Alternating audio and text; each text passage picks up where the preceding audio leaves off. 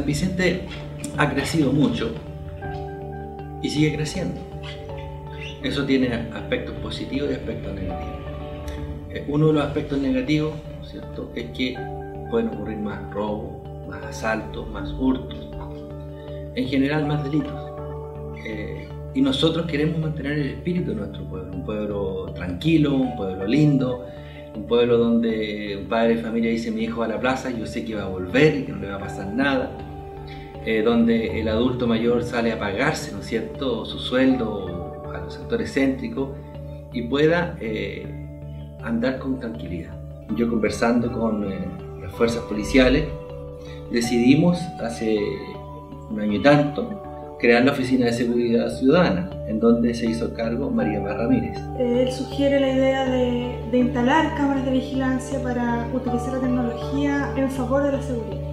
Y así como se nos incluye al Departamento de Seguridad Ciudadana postular a un fondo regional de seguridad pública del 2%. De esta manera se hizo un estudio, se postuló un proyecto y nos ganamos este 2% regional de seguridad pública para cámaras ¿cierto? instalados en sectores estratégicos de, de, nuestro pueblo. Este proyecto de cámaras de vigilancia consiste en la instalación de 16 cámaras de alta resolución en 16 distintos puntos de la ciudad de San Vicente. Aquí ocurren dos cosas. Tenemos eh, más niños que van a la sala a los jardines, a los colegios. Y tenemos más adultos mayores. Por lo tanto, tenemos una población vulnerable mayor. En función de eso, nosotros creemos que tenemos que protegernos. Y la tecnología es un factor de ayuda fundamental eh, para prevenir y para intervenir.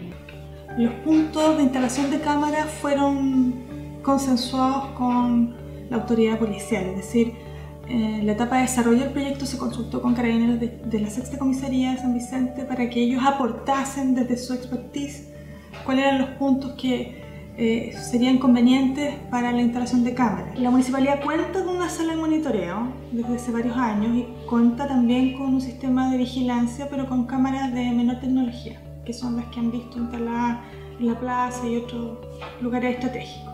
Ahora este proyecto lo que hace es cambiar aquellas cámaras antiguas por estas cámaras de mayor tecnología, que son robóticas, que permiten girar 360 grados y son manipuladas a través de un joystick desde la sala de monitoreo.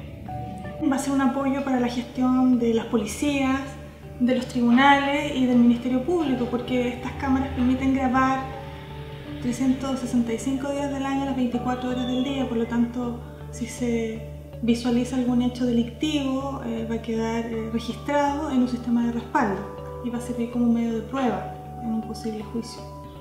Así que yo estoy muy satisfecho muy eh, expectante de que esta, este avance que tenemos en la comuna nos sirva a mantener este espíritu de pueblo. Por eso es que es importante la presencia de cámaras, porque con ello nosotros los transeúntes, los visitantes y en general los contribuyentes de nuestra comuna se van a sentir tranquilos porque siempre van a tener estas cámaras que van a hacer un vigilante más. Las cámaras de seguridad son una ayuda a, a la labor que queremos que, que continúe en San Vicente, o sea, mejorar nuestra calidad de vida.